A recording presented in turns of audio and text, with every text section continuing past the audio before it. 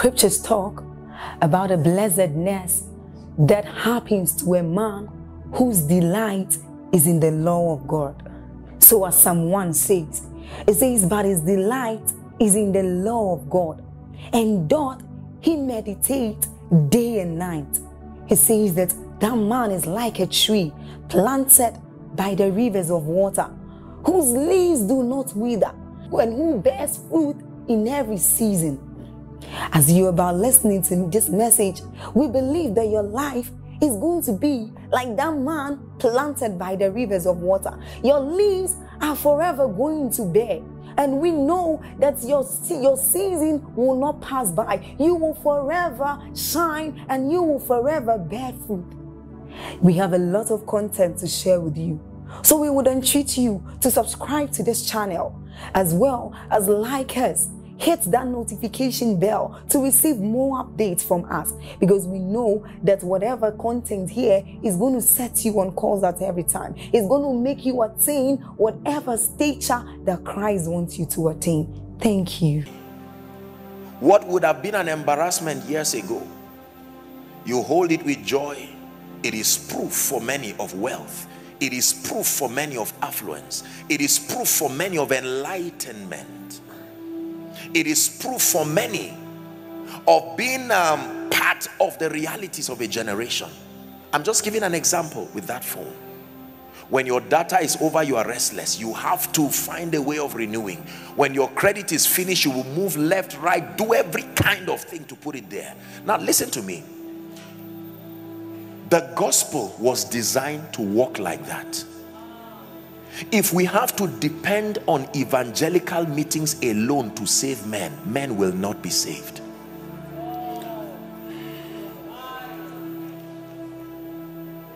I'm trying to be as modest as I can be because um, because of what I want to tell you. The strategy for kingdom advance, in fact, the concept of kingdom has hardly been understood by church please listen carefully we have written books we have brought together Bible colleges. We have taught everything from character, which is profitable, the fear of God, ethics of ministry, um, and all kinds of principles of theological exegesis. We understand scripture. We have stretched our intellect from border to border, covered different dimensions, different curriculums, but we have missed the kingdom. And so we have all kinds of people who stand, like I taught in the morning, as witnesses, advocates of the interests of the Father, and they hardly understand his agenda.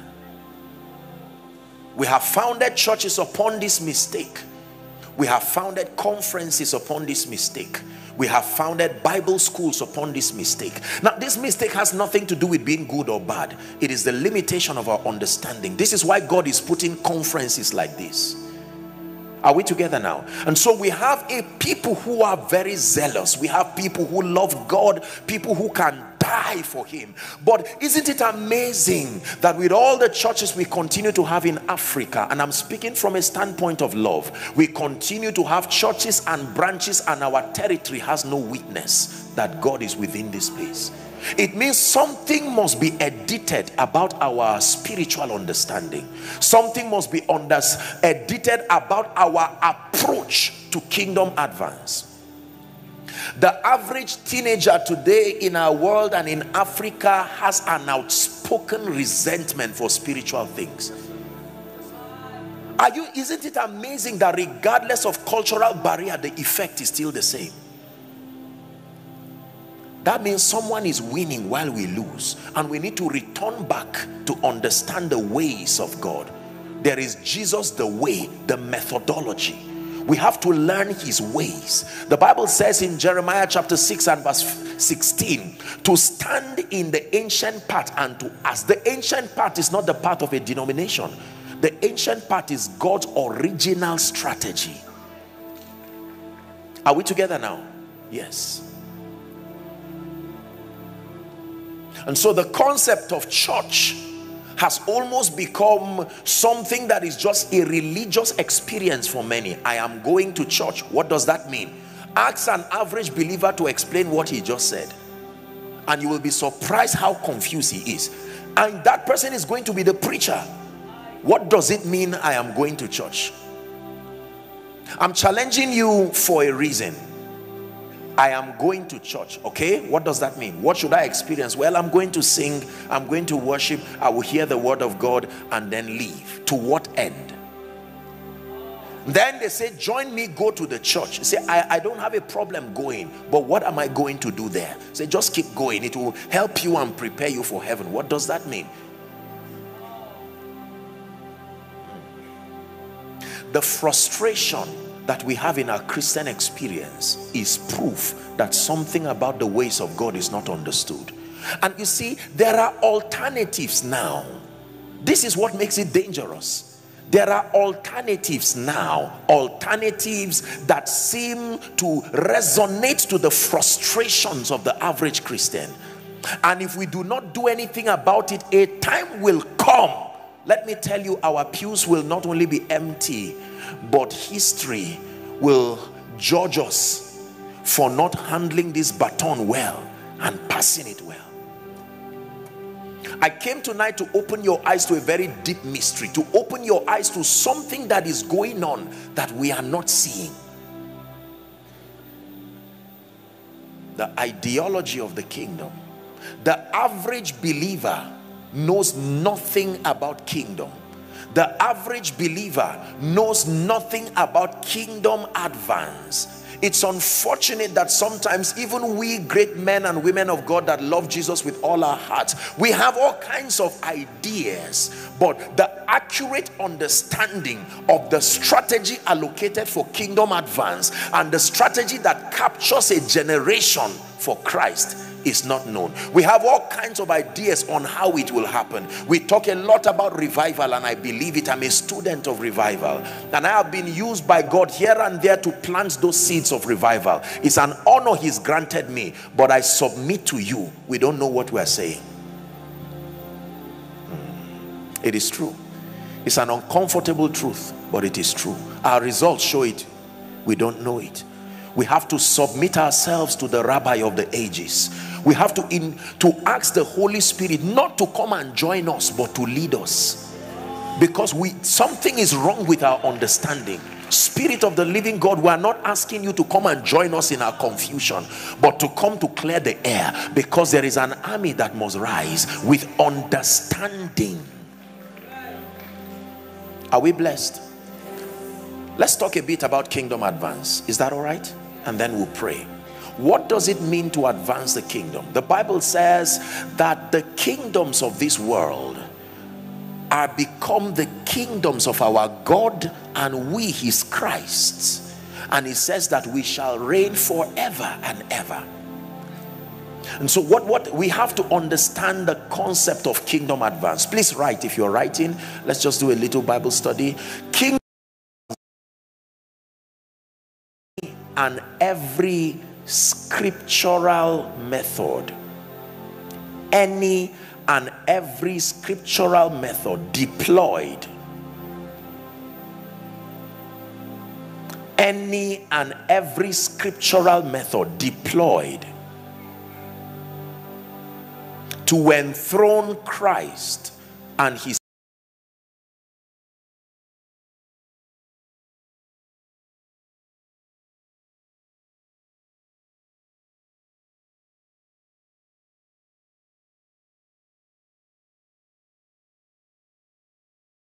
purposes first in the hearts of men and then across every strata of human activities. This is what we call kingdom advance. Kingdom advance is not about preaching. It's not about singing. It's not about doing business. We are at liberty within the coordinates of scripture to invent through creativity any strategy at all that can lead to the enthroning of the Christ across the hearts of men and across every strata of human activities. Listen to me. Whoever is not doing this today on earth is wasting God's time.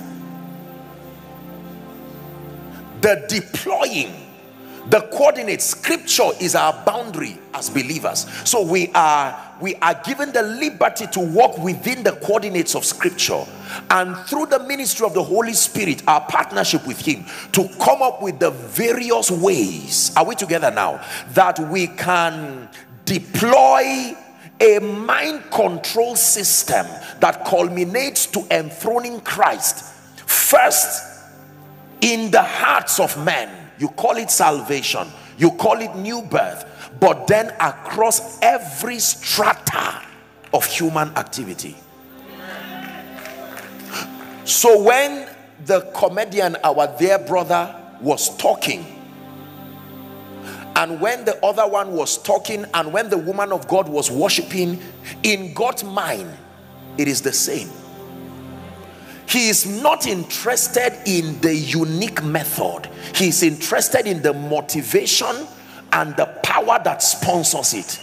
Now, if you do not understand this, we will lose a generation. Hmm.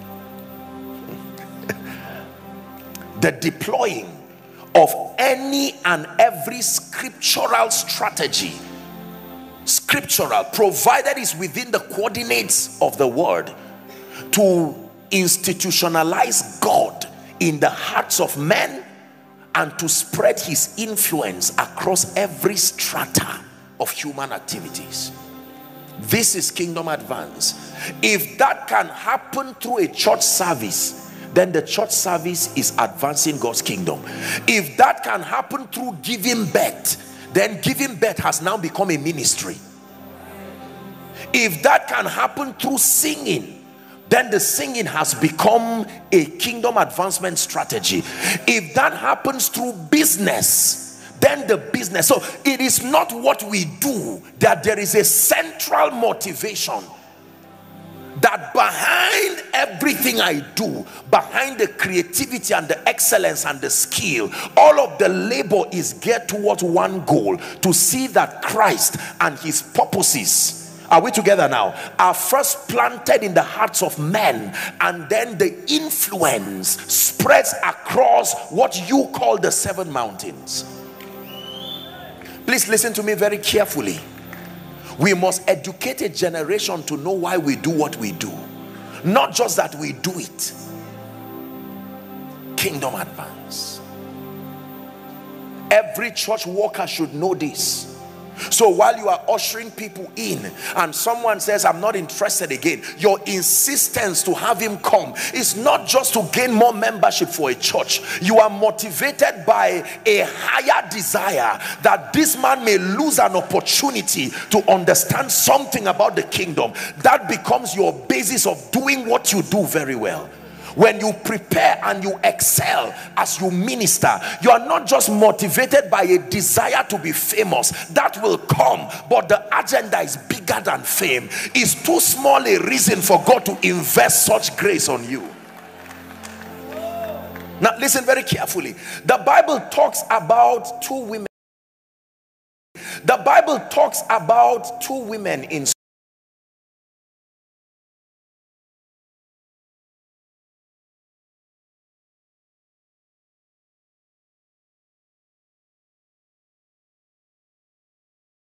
mockery over Hannah. Notice that Hannah continued to go to God and cry for help, but her prayer was not answered because there was no kingdom in it. God could not find a space in her desire where Christ will be glorified and his purposes. Now, Hannah, paraphrasing now, went back this time around and said, Lord, I know what you are looking for. You a body, you need bodies that represent your purposes. Can my womb have the honor of bringing one of the bodies? She prayed once, only once. Listen, I have learned from scripture and by experience that the key to getting God's attention is not rolling on the ground. It is the degree to which your life aligns to kingdom come. More than fasting, more than prayer, more than Bible study, the key that causes God to invest his jealousy upon a man and stay there until you rise is the degree to which his kingdom can come through you. listen very carefully. I have seen that it is not difficult for God to lift a people. It is not difficult for God to lift an individual. The only issue is what there is is what there is nothing kingdom that is represented in our desires. It is within his power to make rich it is within his power to grant a man influence. It is within his power to cause a nation and a generation to hear you. But to what degree will his purposes be represented in your pursuit? The difficulty in our christian experience is is is a misrepresentation of god's potential. It looks like god is slack. It looks like god is slow. But the key is that god is vetting the purity of our desires until he finds himself there you are not going to get his attention. You may cry. God is touched with the feelings of your infirmity but he's only moved when he finds himself in your agenda. For your glory I will do anything just to see you to behold you as my king for your glory I will do anything just to see you, to behold you as my king. Wanna be where gotta be where you are.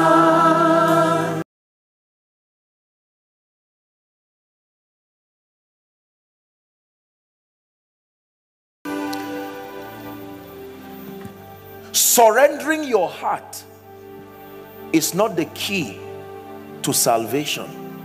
Believing the gospel and receiving his life is the key to salvation. But surrendering your life is the key to be used by God please understand this. The condition to be saved condition to be saved is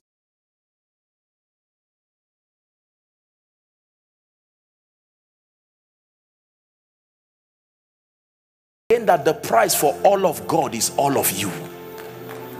Until all of you not your money leave your money leave your car leave your skill leave your talent. No until you die. It's a realm in the spirit called Galatians 2:20 I have been crucified with Christ. It's a mystery. Nevertheless I live yet not I but Christ that lives in me. And this life today that I live in the body I live by the faith. I am motivated by another reality. I have lost touch of my ambitions and my desires. I have brought everything under like a woman submitting to her husband. I have become a bride and a bride indeed. His desire has become my obsession.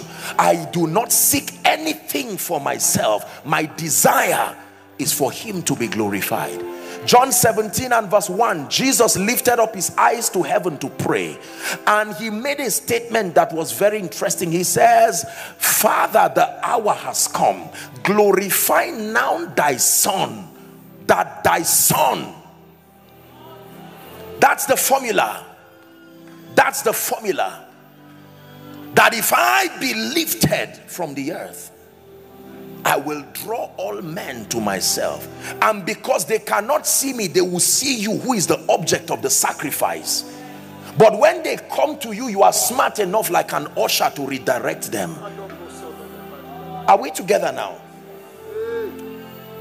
Pastor and his wife acted my message so beautifully here when pastor ushered his wife gave her an opportunity to share a few things and she turned back and beautifully honored him i said this woman understands kingdom. Because you see in theology we call it the reflection principle. Nobody can glorify himself. Your glory is invested in another and the excellence of what comes out of you is how you are glorified Are we together now? So the Father cannot glorify himself. His glory comes from the Son. The Son cannot glorify himself. His glory comes from the church in partnership with the Holy Spirit. The church cannot glorify itself. The glory of the church comes from its dominion over principalities and powers and creation. It's a principle of shared dominion. It is the Son that glorifies the Father. It is the church that glorifies the ecclesia, that glorifies the Son. And it is the dominion of the church over creation. That is where the glory of the church is.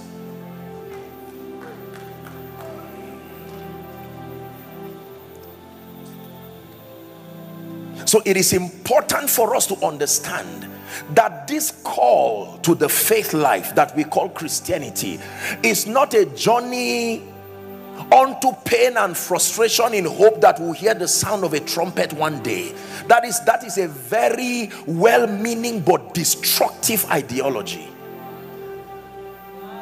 it is the kind of ideology that has produced the socio economy that we see in Africa.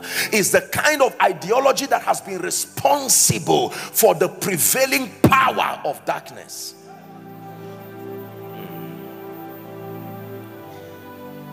Are we together? Very, very important.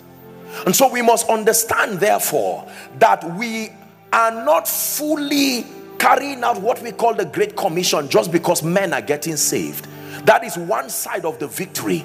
But is being cancelled out by the loss of the darkness that looms over a territory. There are two keys to kingdom advancement. Write them down, please. Number one is called evangelism, number two is called influence. There are two biblical keys. There are two biblical keys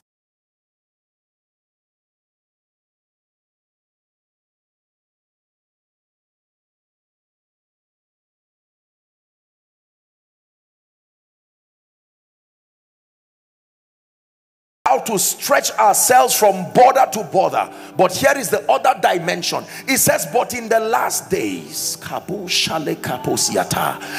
mountain so the house of the lord is a mountain on its own. And the bible says it shall be established at the top of other mountains and it shall be exalted above all the hills. Look at all look at the way this scripture messes with your intelligence. Do you flow to a mountain? Can a mountain be placed on other mountains? Hmm. verse 2 and how many nations? Many nations shall come when you want to understand this you must study solomon. Solomon was a man who demonstrated the power of the influence of the kingdom. On the excellency of the understanding hearts that he carried solomon compelled the attention of all the kings that were within his sphere. But there was a strange woman from ethiopia who would not come. Because gentiles don't come they come to your light but kings don't come to your light. They keep watching. They have light too. They have results. Kings come only to the brightness of your rising. Please follow me. We have something. We have a serious journey to take tonight.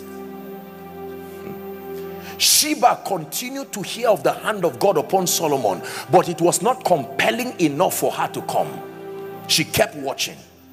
The same way they are watching you and a time came when Sheba herself had to come and she came with her plenty. And the bible tells us theologically speaking for over six months she continued to tour the palace of solomon. And at the end of it the bible says she said half of this was not told me. She had no breath in her every generation will not be confused. There is a generation that will get this thing. Yes sir. I'm going to show you that generation. Because whoever that generation is we know that they are a chosen people. They are a kingdom of priests a peculiar people a holy nation. The bible says that generation you will know that generation by the signature of a body of knowledge they will access called marvelous light. You know that this is a generation signified by prophecy by the depth and the degree of spiritual illumination that they have access to. The bible calls it marvelous light are we together? If we are together please say amen, amen. yes. So here we see that kingdom advance is more than just evangelism. We will need influence. Let me talk a bit about influence and i begin to tie some things. What is influence? Influence is the ability to cause a person and a territory to buy into your convictions without using force or cruelty it's called influence the ability to compel men to compel systems to buy into your ideology without using force or cruelty is called influence. That means if I sustain an ability to work on your understanding and I to work on your understanding and I compel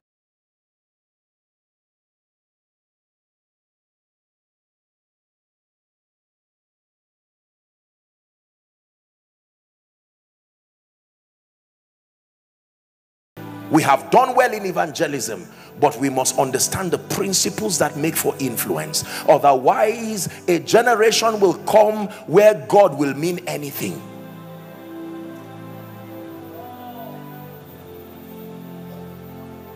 Are we blessed? Influence.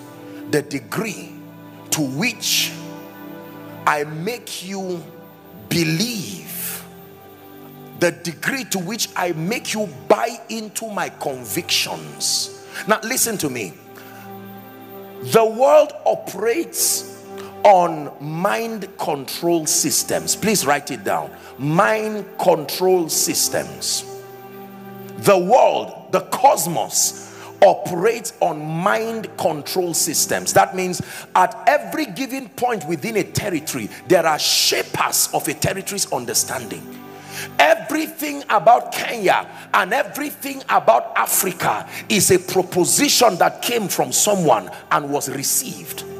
Are we together now? Watch this. Satan comes, I mean, the Bible says that God comes in the cool of the day. Are we together? And he says, Adam, where art thou? And Adam said, I heard your voice, but I hid because I was naked. The next question, who told you?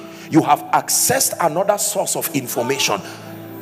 Someone has mediated between me and you. We call it media.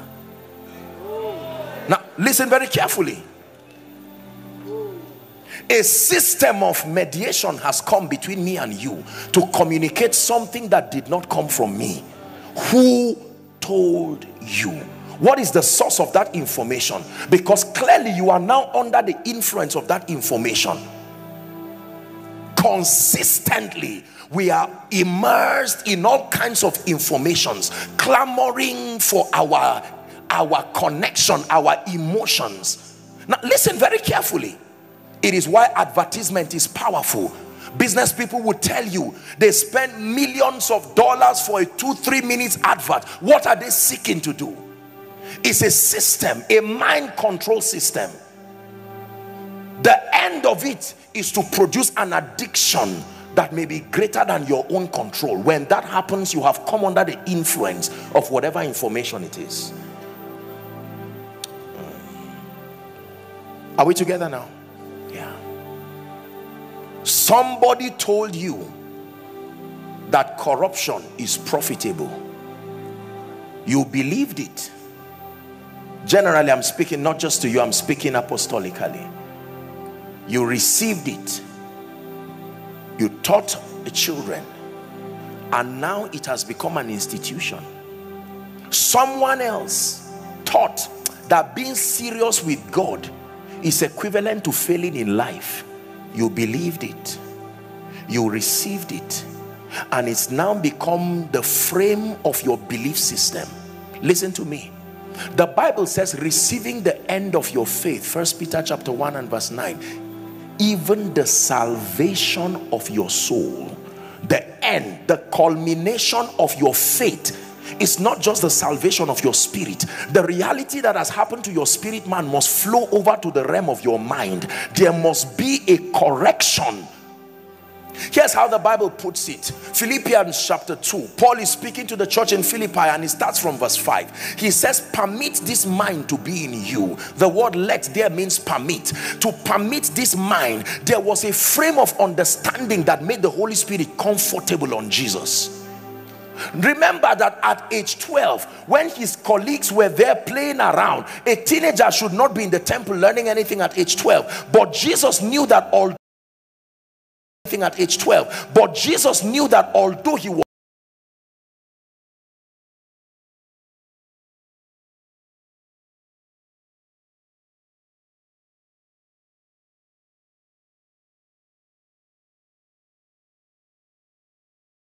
scripture is silent the next time we see him he's 30 years coming to be baptized by jordan and then the heavens open the Spirit of God descends upon him and the father says, this is my beloved son. Question, what was he before? This is now my beloved son in whom I am well pleased and he compels creation to hear him. Hear ye him. And now Paul is teaching us that Jesus was not just Jesus because he was the son of God that he was able to work on his belief systems to sustain an understanding that made him the logos in experience that the father was comfortable to walk through him because his mindset never fought one agenda of God on earth. And Paul is saying permit this mind to be in you which was also there was a mental disposition that Jesus possessed that allow the Holy Spirit to be comfortable. Listen, impartations are useless when the belief system has not changed. We love impartation, Africa, and impartation is very important. But impartation, you see, the oil will always take the shape of the vessel. If the vessel is small, it will make the oil look small when the prophet was speaking with the woman and she said there is nothing except the oil was hearing the conversation and said you call me small? No you limited me in a small vessel. And the prophet said go and borrow vessels. I know what the problem is. Don't borrow oil but borrow vessels. Expand. When you expand now the oil will begin to look like the shape. And when there was no more vessel the oil stopped listen to me. Two people can carry the same anointing but their mindsets for instance and respectfully so church history in Africa would tell you uh, many anointings that we carry today did not start from us. They were anointings that came with our fathers and the patriarchs of faith. But either because the men were not educated or they did not have the requisite level of spiritual enlightenment that will allow that dimension of God find expression the anointings on them that we now carry and look great it was always on them but their mindset made it small. Their mindset made it to look ineffective. Now God worked on us and expanded our understanding and the same grace now is on us. And watch the potential of that anointing. Mind control systems. A territory can be under siege. Mindsets and strongholds. A mindset is a sustained thinking pattern. A mindset is a perspective a mindset is a viewpoint. This is very important. Our beliefs in Africa need to be edited from the lens of scripture not the lens of westernization not the lens uh -uh, uh the coordinates of growth is scripture for a believer and that from a child. Thou hast known the holy scripture which is able to make you wise unto salvation to make you wise unto salvation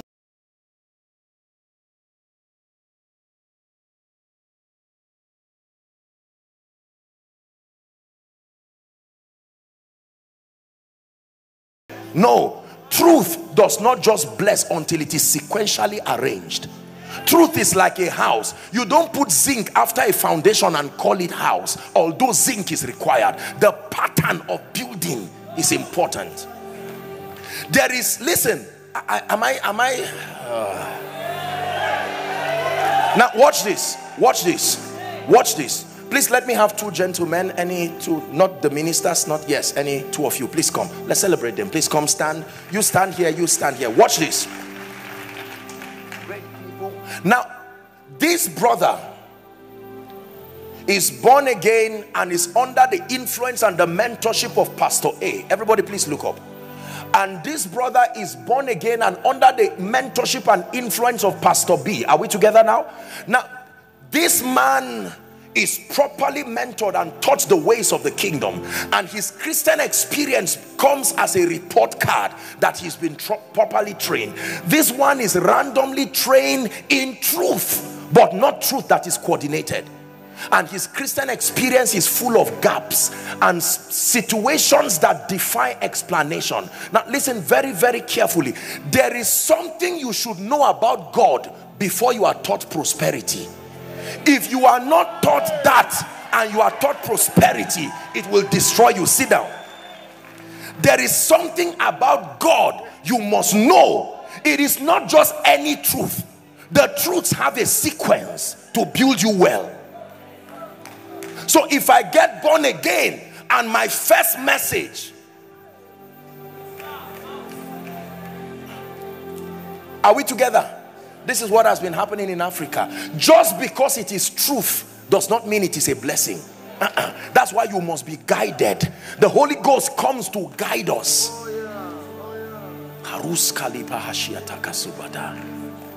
Truth has killed many people. They held on to it and it killed them. This man has not been taught the reality of the victory of Christ. He's not been taught the attacks that influence brings. He's not been taught that the cosmos has an adversary. He's not been taught that every open door has an adversary. He's not been trained. Teaching him about growth and influence will kill him. He does not have the spiritual stamina to survive this. Are you getting what I'm saying now?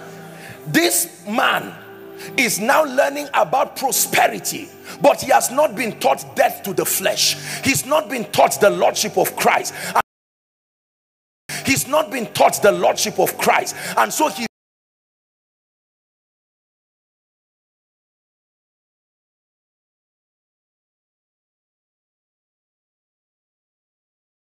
this kingdom owners are rebels. We don't own things in this kingdom. Mm -mm. sit down. Sit down please. Ownership is proof of rebellion. In this kingdom we are stewards. We don't own things. And moreover it is required in stewards that a man be found faithful. So if god trusts me with 10 million dollars a hundred million dollars the revelation of stewardship has fortified me from lust listen to me this is an apostolic conference and there are many things that we need to bring under divine order. That was the goal of writing the first and second Corinthians. That all things be done decently and in order. Are we together now? Yes. So imagine respectfully that this man now becomes a pastor of a church. Look at the, the depth of deficiency that this man has. Now remember, please i'm not i hope you understand the standpoint from which i'm coming. I'm sent to the body and i love the body. The goal is never to tear down. No i don't destroy the body. You will never hear me say any it is the body that i am part of.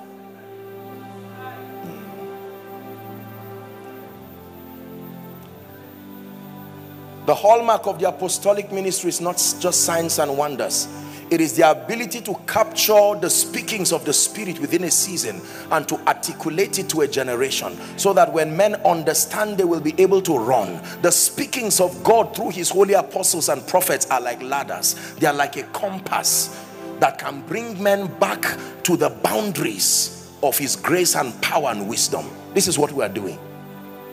So this man is confused about so many things he's not sure of but now he finds himself as a pastor and he has to teach from the lens of his belief system. Now watch what will happen to the members because the members will be a reproduction of his mistakes and the mistakes will continue to multiply. So you can literally without blinking your eye just look and see the imbalances scattered all over Africa which are a product of the lack of the sequential arrangement of truth. Now you don't have to be fake to be in error. You don't have to be fake to be wrong. You just have to be imbalanced come he says and i will show you the lamb's wife. And he showed me a city that was equal in length equal in breadth equal in height. No exaggeration. That's the lamb's wife. Anything that is outside of that coordinate is not the lamb's wife. It is for this cause that he gave unto some apostles and prophets and evangelists and pastors and teachers right like carpenters to mature the saints so that the saints now being matured will do the work of the ministry. Mm.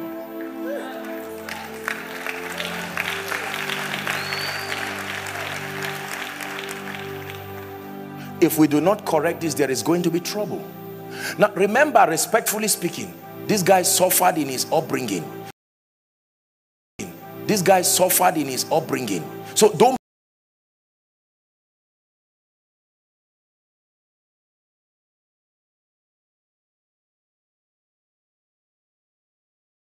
to his past and his pain has created a belief system that if not deconstructed and rearranged will be the emphasis of his teaching in ministry.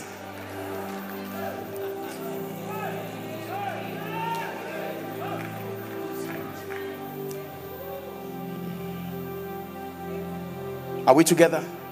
Yes. It is not enough to have truth.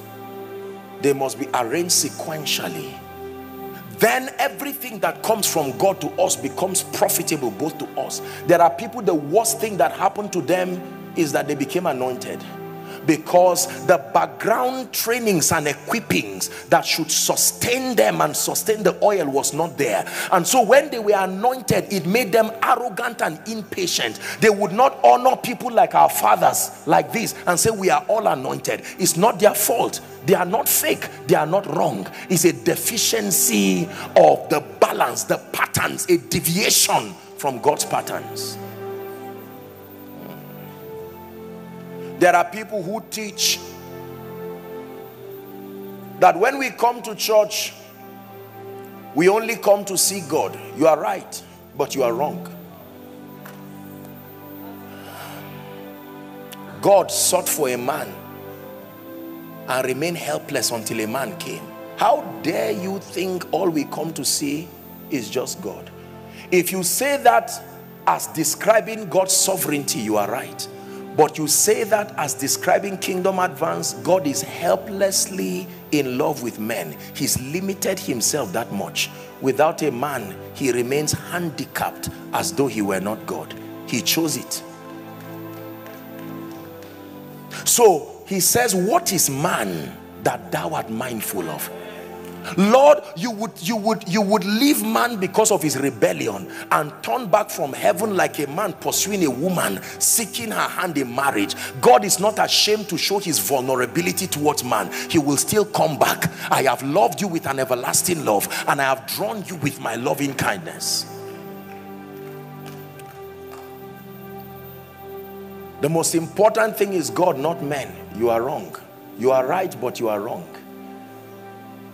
You can sit on a wheelchair for long, although there are men, but one man will come into that building and without raising any song, people are standing from the wheelchair. What was the difference? Remember, God was there. You invited him right from the beginning of the service. So what changed? Not God, a man.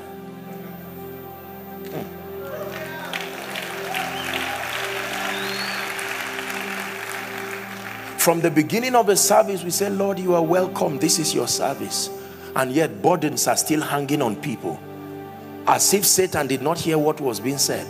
And suddenly a man holds the mic. And in a moment, in a twinkling of an eye, what was an age-long captivity leaves. That was not just God, that was man. The Holy Ghost had to look for a woman to agree for Jesus to come. He would have remained in heaven there. A woman said, be it unto me. I allow. I allow that the Christ would find expression. Listen to me. I would always give this example. God was done with Saul, pastor. David was the next person. But a man stood in between called Samuel and refused. And because one man refused, David remained in the wilderness. It was not the will of God, it was the will of man. Samuel refused to go and anoint David. David kept seeing visions of the throne and remained in the wilderness there. God had agreed, but man refused. And God had to come to the man and say, please, how long will you weep? Seeing that I've rejected Saul as king. Can you take your horn?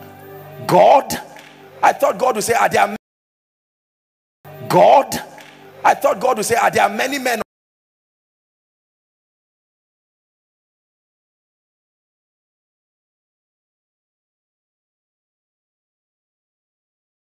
for a reason. Please sit down. It is the reason why we didn't get jobs. What is there?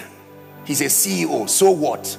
Ask Vashti. She made that mistake and forgot she was only queen because she married a man who had influence over 127 provinces. There are men in this earth that you cannot cast. God must make them to fall in love with you for you to pass not everybody is castable. I teach you the intelligence of living in the cosmos. When a man's ways pleases the lord is it in your bible? He makes there are some enemies you cannot cast. They must be at peace with you. They are gatekeepers.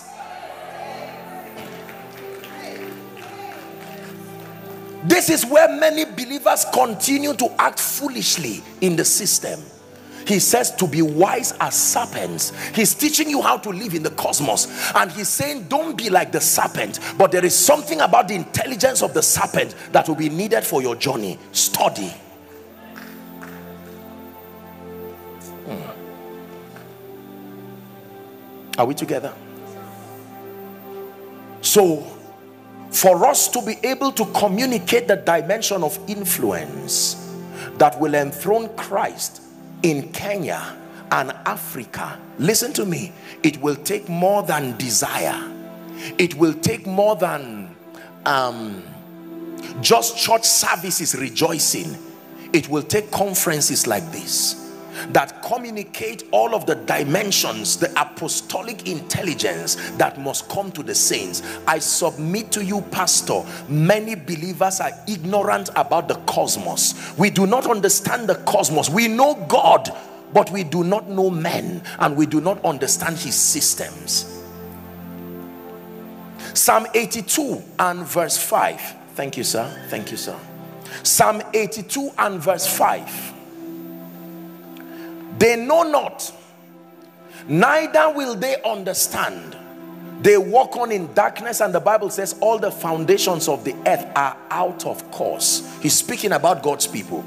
Verse 6 I have said, Ye are gods, and all of you are children of the Most High. The tragedy is in verse 7 But you shall die like mere men and fall like one of these princes.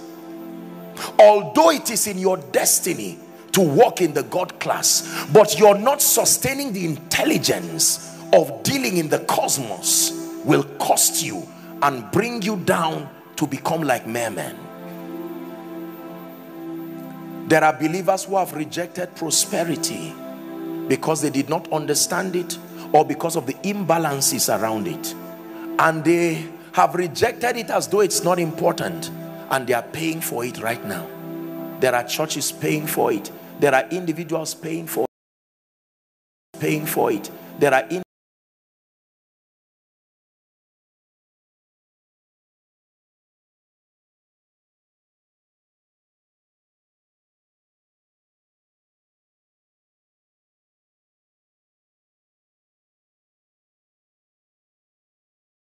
we must understand his ways. Everybody say his ways.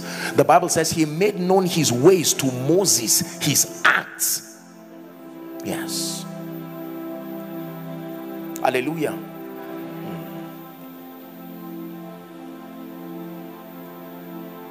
africa is like someone in icu right now and there needs to be men and women who will rise with a passion for God and sufficient spiritual understanding of not just God but his ways so that we will be able to initiate the transformation um, that not only benefits Christians but benefits every territory.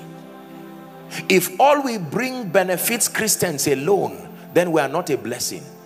I hope you know that because he sends his rain to the godly and even the ungodly. There must be a dimension of that which we do that will bless all and sundry. This has been my contemplation for many years that something is wrong with our theology. Something is wrong with our communication and Sunday after Sunday, Wednesday after Wednesday, and in many circles almost every day, we continue to advocate this error. It's becoming institutional, and there is need for a retreat fast. There is need for a reorientation. An understanding so that our children will know the God that we so love and call upon Otherwise, there will be a serious problem within the years that come. Hallelujah.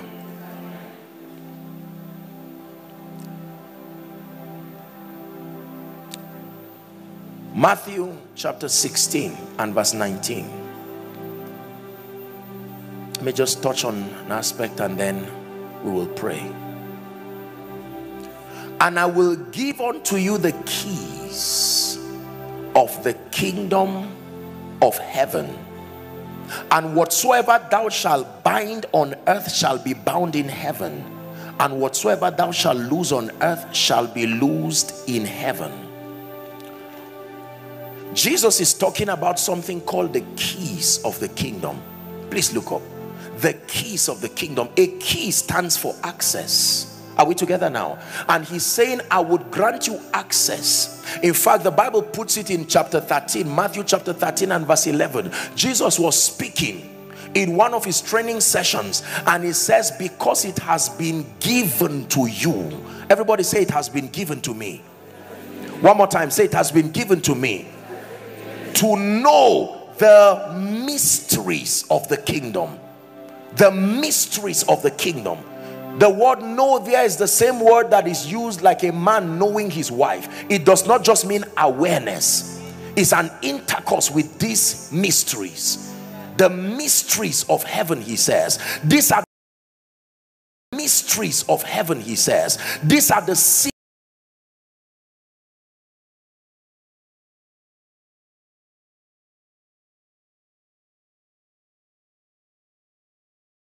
when you find this body of truth allocated for the victory of the saints then you will arise like Isaiah chapter 60 and shine for your light is come.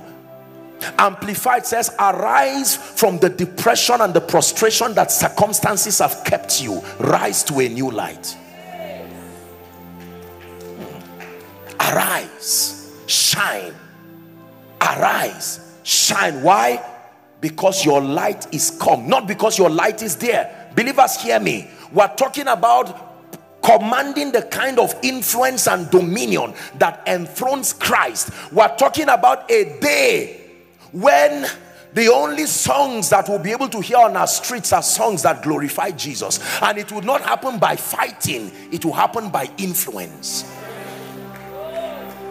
You cannot I was told a little about um, the, the comedian that came here and I was honored and I mean the followership and all of that. And for this man to name the name of Christ this is influence.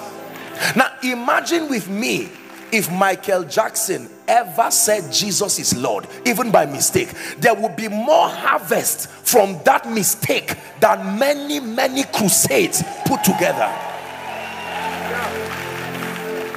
Listen to what I tell you. This is a very serious discussion. I hope you know that mind control systems are not only information they are men. Because at every point every territory has the gatekeepers. Every industry has gatekeepers. And they have submitted their understanding to these men. It's not something we, whether you like it or not it's a reality there is a way one man can dress and make one million people follow in 21 uh, in 24 hours there is a way one woman can speak and cause people to speak that way. You can introduce a slang and in 24 hours it's gone viral. People are that helpless. And if we understand this, we will also know how easy it is to enthrone Christ. Listen, our messages will not be heard in this generation until we put a crown on it. It is only what carries dominion that speaks to this generation. So as powerful as our message is, nobody will listen to you having two people alone talking to you, following you, people want to see a dimension of results. They want to see a dimension of the life and the power of God. Like I taught in the morning they want to see an evidence and they will follow you. The Bible says in Micah chapter 4 and verse 2 that all nations will say come let us go to the mount of the Lord. We is listen we have to be tired of begging people to come. A time will come when they will run and come to us let us go. It's an advice. Come let us go. it's an advice. Come let us go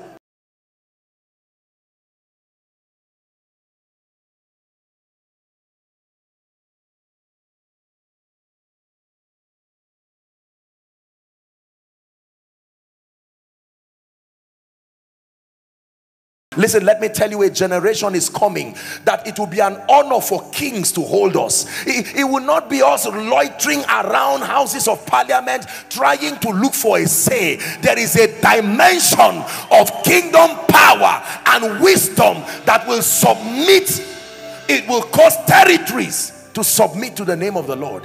I know it will happen in my lifetime. Yes, sir. I know it will happen we will wear the devil out and let him know when Jesus said it is finished he meant it. Mm. a day will come when if you don't sell Christian music you will go down. Listen and it has nothing to do with sentiments because that is the only music that can excel. That is the only music I mean it will be proven scientifically to be therapeutic and so it will now be recommended at a social platform not a religious platform as a health recommendation. This is not just church this is kingdom. Hmm. today when you say you are a pastor people just look at you. This is what they heard. I am a stupid confused wicked manipulator so people just look for names and say, I'm just a worker in the house of God. When has being a pastor and a man of God become such an insult? My God, some people from this conference are changing it. That name, Ichabod, must depart from church. A day will come when if you stand for a job and you say, I'm a Christian I saw you at RUAC conference. Yes, you have the job. Because that automatically means that you have been submerged under a thorough system of kingdom mentorship. You have become an advantage to that corporation. This is kingdom. Please listen to me. Hmm. A time will come when once again visitors will come to our homes and our children will greet them not come and slap them because of what they watched on TV they can stand and say good morning sir and say where did you learn that? He said that's all I have known. I've been taught A day will come when Christians will begin to introduce new courses in our school curriculum. Thank God for that which the government demands. But we are also, there is a government that we are running. And there are things our children must learn.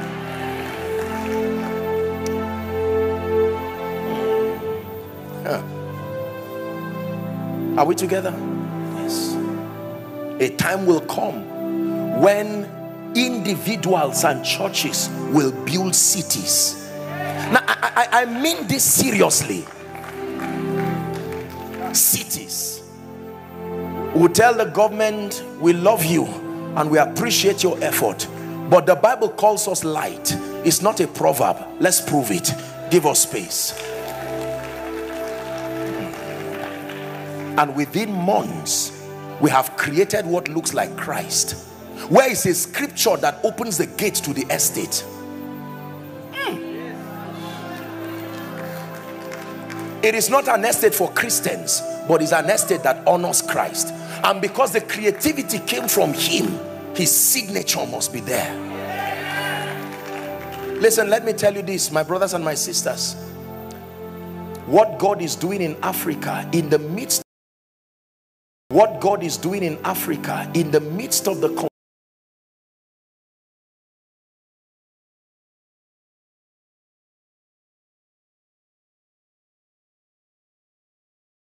emergence of ambassadors. It's an emergence of promoters and defenders of the interests of Jesus. Now listen to me. You have been taught the seven mountains. There are no eight mountains. There literally are seven mountains. They define the jurisdiction of the mind control systems. Every information and every influence on earth today comes from these systems the mountain of religion where the spiritual convictions of men and women are shaped something about God came from that mountain. An error about God about Satan about life came from that mountain. And God must have himself witnesses on that mountain. Men and women who will be able to stand to accurately communicate the things of God. A time will come where people will come to church by 3 a.m waiting for a service of 6 p.m not just because of miracle signs and wonders but the opening of our mouth will be the liberation of destinies we're not listen we're not we're not only going to teach like noisemakers who are teaching spiritual things. No we will teach and people will log on in their offices because what we teach has socio-economic value. The mountain of education the shapers and the molders of mindsets. Right now we have many teachers. You talk to your child and say daddy that's wrong. Who told you? Auntie. Who is auntie?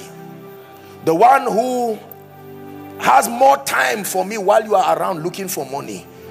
The one who has replaced you in my life who has shaped my understanding.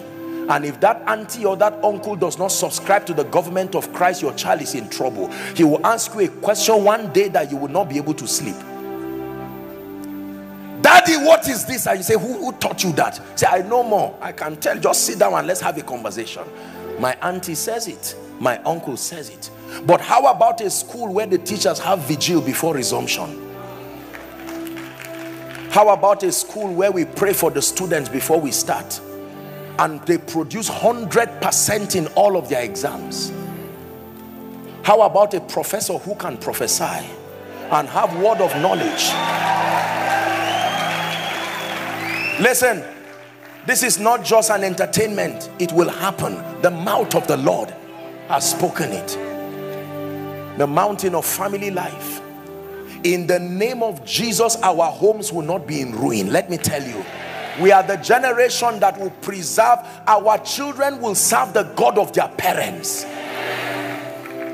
No, there is no child following another God. No, you will serve the God of your father, the God of your mother. A time will come, your child will say, Daddy, do you know the first expression of God was supposed to be seen in daddy and mommy? Because man and woman are two dimensions of God. And marriage is the system that helps children to learn God. System that helps children to learn God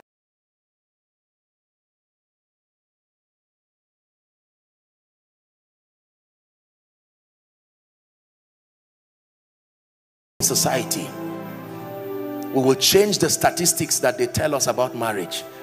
We are coming. Hmm. How about media? In five minutes, you can hear something that will take one years to leave you. That's how powerful it is. Five minutes. And information is introduced to your Christian experience, introduced to your financial understanding, that becomes a ladder upon which darkness rides in. We need some sanity. But when we are poor and broke, we'll be at the mercy of any system. In the name of Jesus, hear me. A day will come, like our dear brother said, we are not only going to have television station, we will have satellites. Son of man, what seest thou? A flying scroll, the power of technology in advancing the gospel. The prophet saw satellite, but he could not call it so, he called it a scroll that flies, carrying a message across the horizon. It will happen by the Spirit of the living God the mountain of politics and governance. Imagine the rigorous training of Daniel only for him to be a politician. Daniel's training, you would think he was going to become an apostle. Imagine the training of Esther. The book of Esther is the power of government. There was no prophet in the book of Esther. There was no man in the book of Esther. The only defender of God was a woman in the place of politics. Haman had signed the death sentence of God's people and a woman used her influence honored her way to the throne and changed the policy. Are we blessed? Yes sir. These are real mountains. The mountain of arts and entertainment. Were you not taught that when you win you you break you bust champagne and pour it on your head? You watch someone do it and because the person is not a failure you can't say he failed listen to me. We are going to redefine how to celebrate success. When the world becomes successful they honor champagnes and the rest. But we will be so successful and tell the world look on us. And when they look at us we say this is how we celebrate success in the kingdom. And they say what does this mean? It is a position of victory.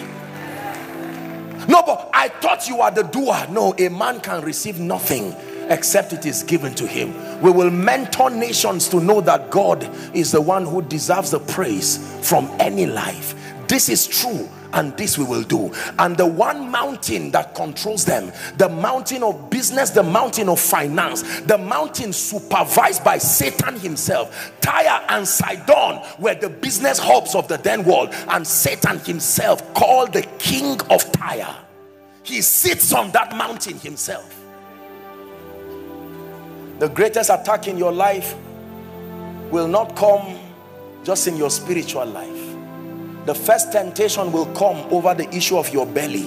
When you overcome it the next will come over your spiritual life. Fall down from that holy mountain. And the third temptation is where Satan himself will say the systems have been given to me.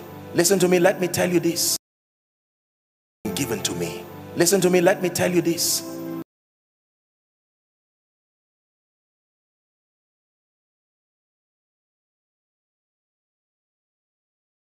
said at the sound of music everybody bowed to that gold. And four hebrew boys said well we honor you and we respect you. Three hebrew boys. But we will not bow. The challenge is that the cosmos prospers you at the expense of the prosperity of your soul. Now here comes a generation saying we will not bow but we will still stand strong. And the devil is saying by what technology? And we tell them there is a wisdom that comes from above we will invade the systems and still be billionaires and be disconnected from the money. It's a mystery. That men and women will stand up and say sir as far as it is kingdom we are ready to invest this much. We have the power. The bible says the rich will rule over the poor not the rich christian the rich anything will rule over the poor, anyone. And a borrower will always be slave to the lender. So the way Satan makes you a slave is to make you a borrower. Listen to me very carefully. Let me show you one scripture. We're soon going to pray. Please be patient with me. We're rounding up. Genesis chapter 42. Don't forget this scripture for as long as you live. From verse 1 and 2. I was blessed when I was told about the economic sessions that, you know, the session that was going on that pastor, I was so honored and blessed. Now, when Jacob saw that there was corn, where? Now, it is dangerous when it is only Egypt that has corn.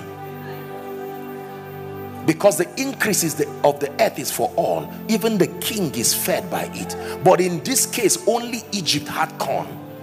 And jacob said unto his sons why do ye look upon one another? Verse 2 and he said behold i have heard that there is corn in egypt get you down thither and buy from us from there that we may live and not die. Even a prophet dies when there is no corn. Listen to me. It is always hunger that takes God's people to Egypt. There is only one reason why the saints will keep going to Egypt. Hunger. The search for bread will take God's covenant people to Egypt where they, they remain slaves there. There was only one reason. Egypt did not say, church, come Egypt only made sure there was bread there. And even Jacob released his sons, please go to Egypt and buy bread so that we will eat and not die. When it is Egypt that feeds you, you will serve their God.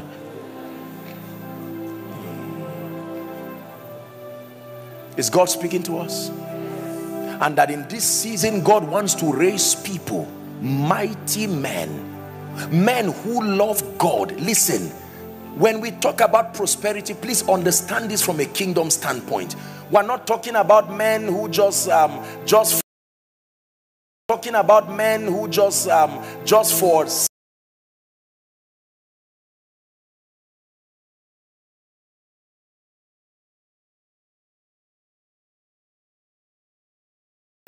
there is a level of economic empowerment you must have to find yourself in the corridors of power.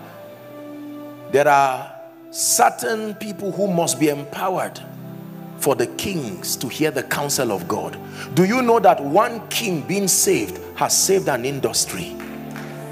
So every effort to reach that king, God is in it. Please listen to what I tell you. We are going to pray. Many people are rising. Not everybody is lazy and God in this season is let me tell you this. You know we talk about billionaires and millionaires. We've not seen wealthy people yet. You watch what God God there are men who are in the cave of Adullam right now. They don't even know they will be financial apostles. They think they will be men of God because the training God is taking them through is not the training of, a, of, of someone who will be wealthy. He has not taught them anything about business yet but their destiny is finance. God is thoroughly purging the flesh he's thoroughly purging the desire for mundane things. And afterwards he will invest a dimension of wealth that can change a nation in a day. There is a statement God is about to make with African in Africa and I am glad that is happening in our lifetime. Can I tell you this? Let me tell you sincerely. Don't let any man who does not name the name of Christ bully you. There is a strategy that God already put in place. The name of the strategy is called the church. The church is not a place of worship. It's a mystery strategy to be revealed in this time.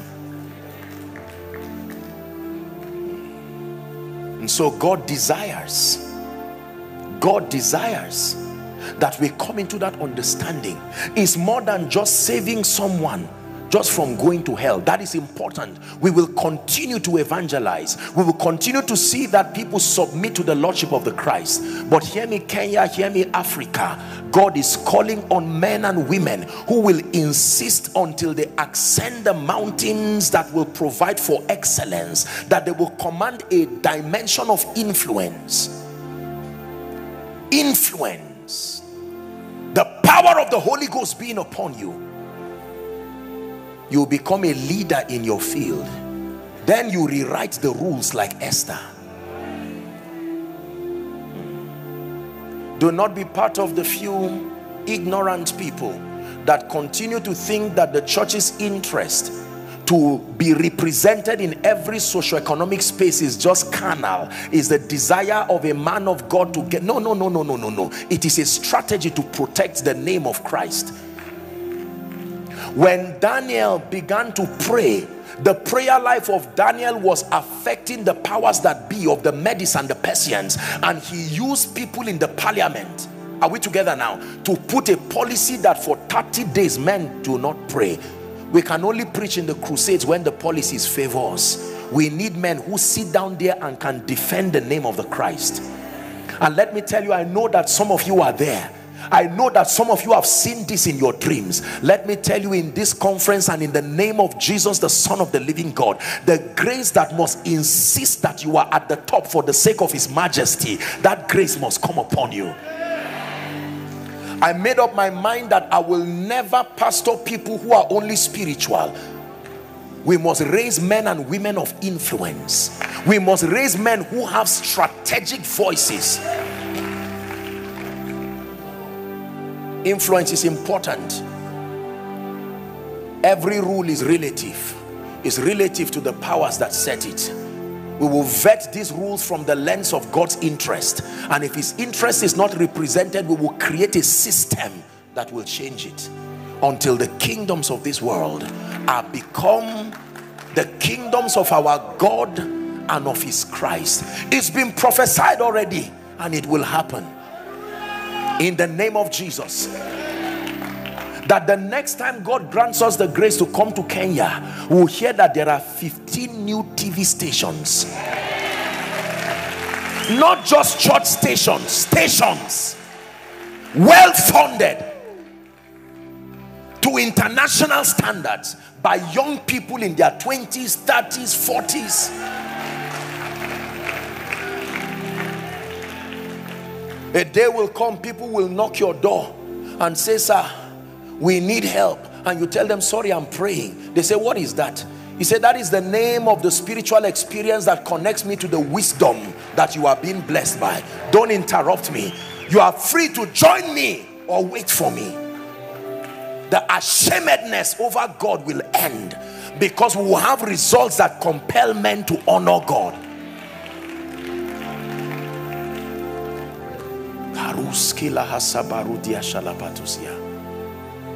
let me tell you this, Pastor, and I encourage every man of God here.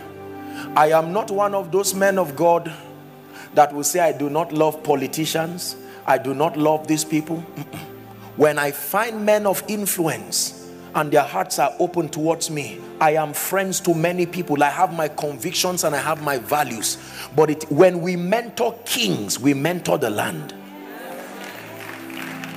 Please listen to this. A day will come by the grace of God where the kings within this territory are under the influence of the servants of God represented here that you will be able to give them the counsel of God and say this is the direction the Lord leads and they will follow and follow through with the nation to prosperity I am friends to many politicians I am friends to many noblemen I honor them. I love them. But it's a privilege to be associated with them because they need help. Listen to me. Do not reject influence. It is not only wrong it is sin. If you reject influence it's proof that you do not love the purposes of God. We must embrace the influence that makes for prosperity that makes for excellence. We must make up your mind that everything that matters in Kenya will have the voice of God represented. Whether it is your media stations whether it is the music people are we together now? Yes. That nobody will come and shut any facility that is supposed to be for the purposes of the kingdom. And I pray that you join in the campaign to crush poverty out of Kenya and out of Africa. It is a noble campaign it is not a campaign of weak people who love the things of the world. It is the men and listen, the, the weight of God is heavy. It takes resources to carry it. Please rise up on your feet.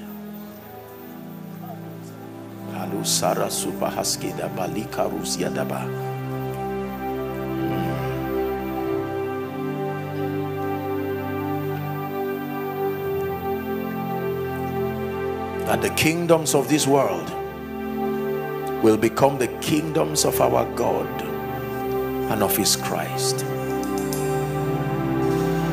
I have seen many visions about Africa. I have seen by the Spirit the moves of God that is coming to Africa. That rejected stone. The Lord has revealed to me again and again.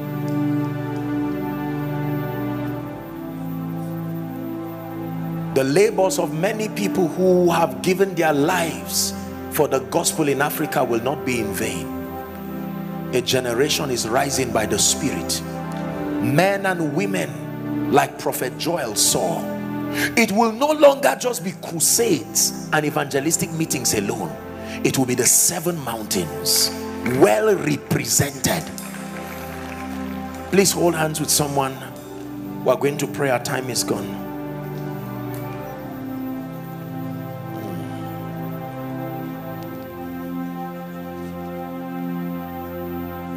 Apologize tonight because of time. I may not be able to pray for the sick and to just prophesy and do an impartation. Don't miss the session tomorrow that i'll be ministering. I will share with you somewhere there my encounter with the lord jesus and the instruction that he gave unto me. And one of it pastor is that when the lord jesus christ appeared to me i was like a dead man on the ground he didn't speak to me, but I was hearing everything he was saying. That was when I learned that in the realm of the spirit, you do not have to talk to speak. The language of God is light. And light at his brilliance left him and entered me. And when that light entered me, how I did not die is a mystery. No one would receive that kind of light and remain alive. And that was when a straight line was drawn from Genesis to Revelation. I started comprehending things that I never learned, never knew. Illumination of the Spirit. And in one of the encounters that I had again, the Lord told me, Son, everywhere I allow you to go, there will be people in that place who must receive the light that came from me to you.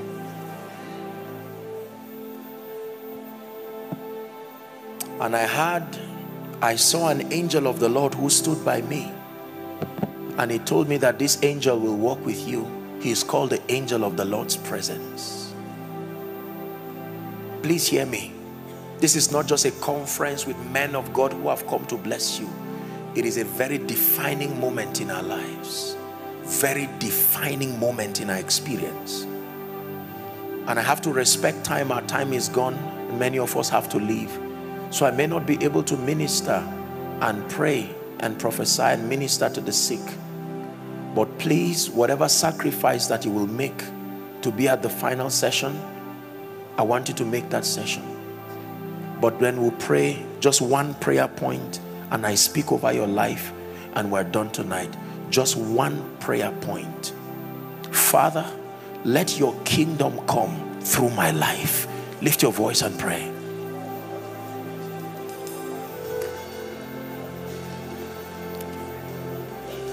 Let your kingdom come through my life.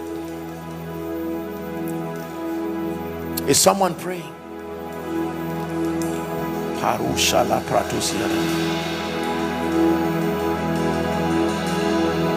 Your kingdom reigns. Your kingdom reigns above all. Above all. Lord, your kingdom reigns. Your kingdom reigns above all.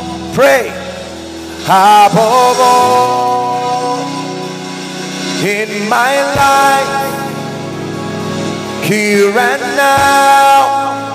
Lord, your kingdom reigns. Your kingdom reigns in my life, in my life.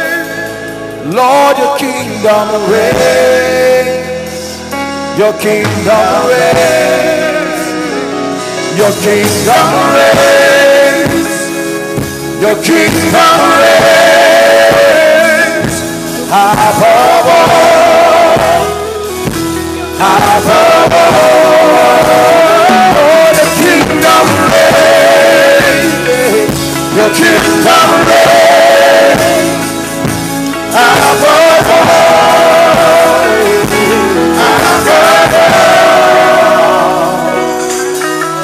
Let me just add one more prayer point. Lord, show me the geography of my witness. Please help your wife. I'm sensing an anointing on her. And the Lord is saying to prophesy to her, Madam, I speak to you by the Spirit. There is a prophetic grace that is coming on you, number one. And number two, the anointing that was upon Esther is coming upon your wife pastor and the lord is going to be granting her access to kings and captains of industry this is the word of the lord and it will happen by the spirit i like you to pray lord show me where i occupy in these seven mountains open my eyes and grant me the grace it's time to represent your interest is someone praying.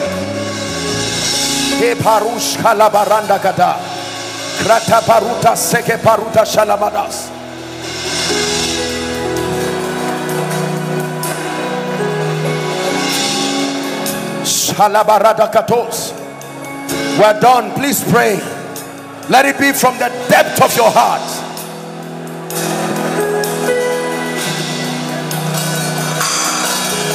Your kingdom reigns.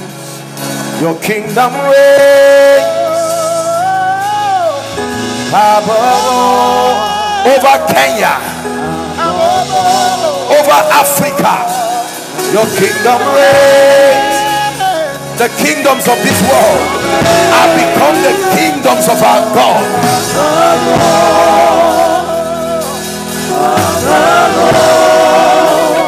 Lord, the kingdom reigns. Your kingdom reigns.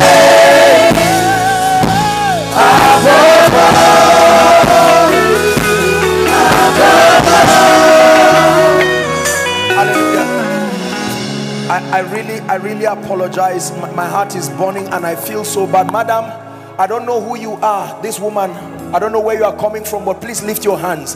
I saw a horn coming upon you and I saw an anointing. And the Lord says he's shifting you to a new dimension in life and a new dimension in ministry this is what I saw he said my head shall thou exalt like the horn of an unicorn and I shall be anointed even with fresh oil.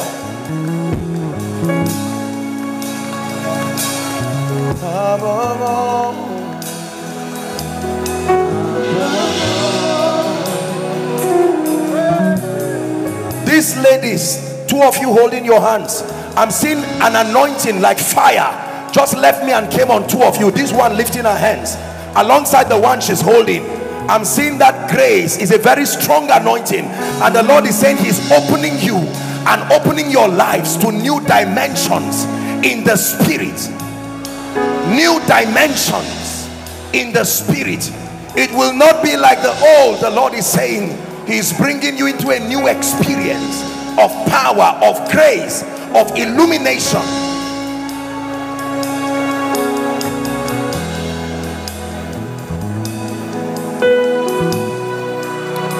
Father, I pray over everyone. There is a music artist here. The power of God is coming upon you. You are going to write songs. Your next album, I'm seeing it by the Spirit right now. I'm seeing a strong anointing. Please help them. It's coming on a music artist, someone you are in the music ministry. Is I'm seeing an eagle. There is a grace for revelation. Parokato satiata is coming on your songs and God is giving it wings in the spirit. It will go across the shores of Africa and bring glory to the name of the Lord. Hallelujah.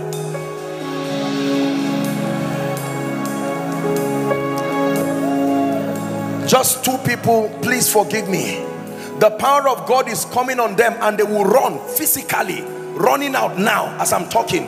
Please hold them so they don't injure themselves. This is what I'm seeing in the spirit. Physically,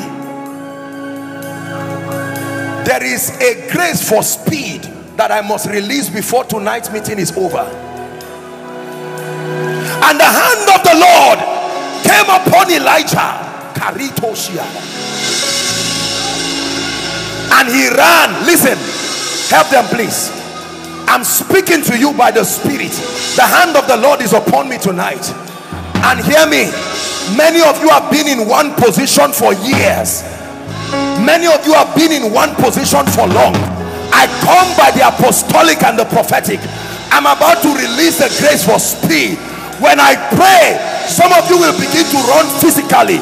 Please, whether you are an usher or not, hold them so they don't injure themselves. Right now, I stand in the name of Jesus, the Son of the living God, over Kenya. Kenya, hear me. I speak to you. Receive the grace for speed. Speed, speed, speed. No more delay. The king's business requires haste. I prophesy and I declare over your hand grace, speed over your work, ministry, in destiny. I release it. Let the old go. Let the new come. I call it by the Spirit.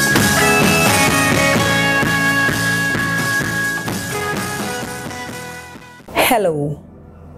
Scriptures exhort us from the book of Proverbs. It says, My son, attend to my sins, incline thy ears to my words.